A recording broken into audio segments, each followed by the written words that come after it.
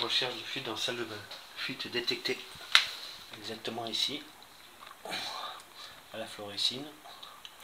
J'ai d'enlever les carreaux pour vérifier. On voit bien les carreaux.